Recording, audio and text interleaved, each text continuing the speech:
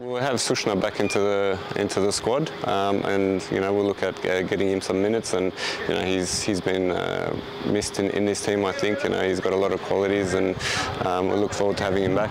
I think for the whole squad, it's a big boost. You know having somebody of, of his quality back back in, into the into the mix.